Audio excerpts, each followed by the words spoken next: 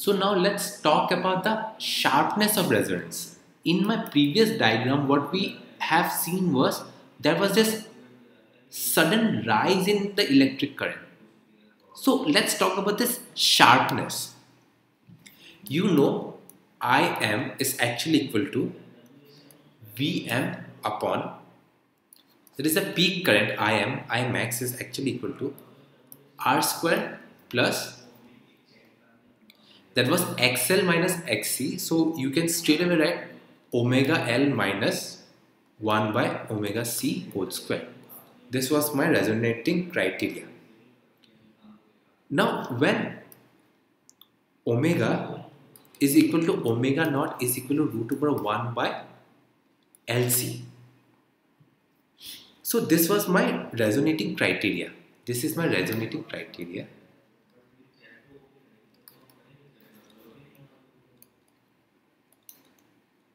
So this is what we have arrived so far. So now let's say for this we know I m max, I m max is equal to Vm upon R when this becomes 0. So this is my condition. So for the values of omega other than omega naught, the amplitude of the current is less than the maximum value. So other than this particular, we know that other than that, the amplitude is less than the maximum value. Suppose we choose a value of omega for which the current amplitude is 1 by root, say suppose we chose a value of omega where I am the current value I is 1 by root 2 times of the max value. I am max. This is max. This is the current I am. At this value, the power dissipated by the circuit becomes half. So we know that the power that is dissipated by the circuit. What is power? P equals to I square R. This was the relation that we have established previously. Is half. So from the curve, we know that we see that there are two such values. Now, if you look over here, what is this? We can have two such values. One that is going up, again that is coming down. So now you have two such values. You have two such values. So let's find out that two such values. That is one greater than omega naught. We have will have say this is omega 1 and this is omega 2. Let's say. And this is omega naught so this one will be less than omega naught and this one will be greater than omega naught. That is what it is being saying in your book. That for this, for two values that is between, you will have one that is less and one that is greater than the actual omega naught. So let omega 1 be omega naught plus del omega. So the difference. So if you are taking omega 2 to be greater let's take omega let's say this is omega 1 this is omega 2 i have taken omega 2 to be greater and this is omega 1 this is omega naught minus del so this is smaller and this is greater so if you want to find the now if you look at a difference if you look at the difference between these two difference is difference is nothing but your twice del omega. What is the difference between these two? The difference between these two was actually twice the difference between any1. Twice the difference between anyone that is del omega So if you want, say suppose if I want to find what is omega 1, now if I want to find what is omega 1 for Im, omega 1 for Im, I'll straight away write Vm by root over of r square plus omega 1 L minus 1 by omega C 1 L. This was for my omega 1. Similarly for omega 2 I can put the similar values. Now it is given that because of this, because of this omega, we have already assumed that the power becomes half. That is the current, that the current is 1 by root 2 times. So straight away, without any delay, I can straight away write without going to the necessary calculations, I can straight away write I max, this is I max, this is maximum is root 2 times.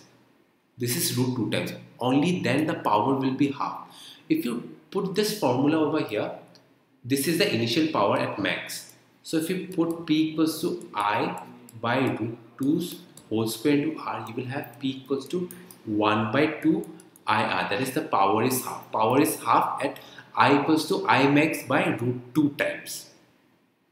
So now you know this will be max when this is max this is max. So this will be max when Vm upon root 2R.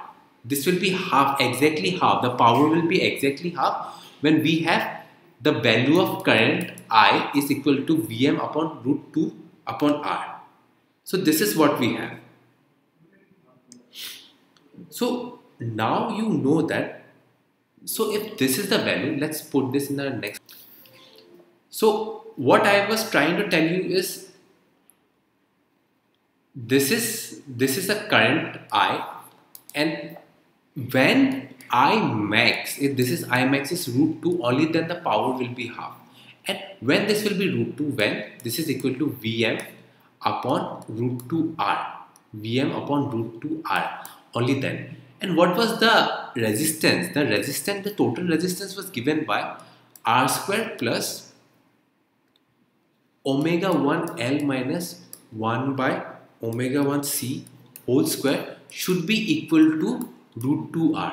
This all should be equal to root 2r.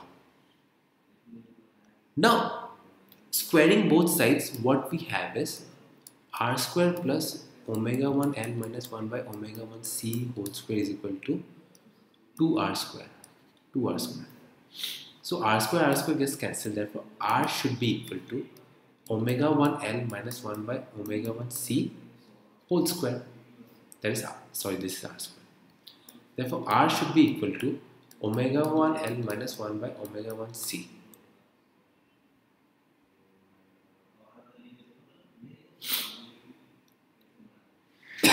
So this is the value. Now this is what you have so far arrived. Now let's do the further calculation. I hope till here everything is clear. Now omega 1 what was omega 1 what was omega 1 now the question was omega 1 we had taken this to be omega naught minus del omega. Omega naught minus del omega.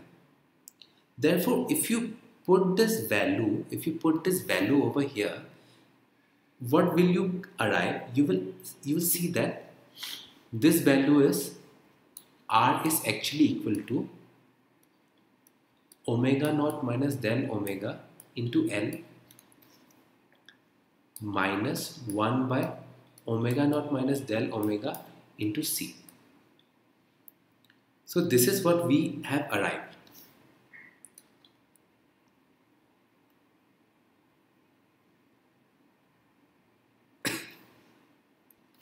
now if I take omega naught common from here, if you look omega naught common from here, what you will see is this is 1 minus del omega upon omega naught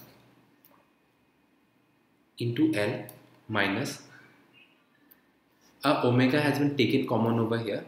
So if a omega naught has been taken common over here that is 1 by this omega naught whole square minus del omega into omega naught whole this is C. So this is what we have. This is 1 minus. Now if you simplify this if you further simplify this, we can say that this is, if you take this common, if you take this common, this is minus. So in a way, we can express this as, we can write this as in this way, 1 plus del omega upon omega naught minus omega naught L into 1 minus del omega into omega naught which is equals to R.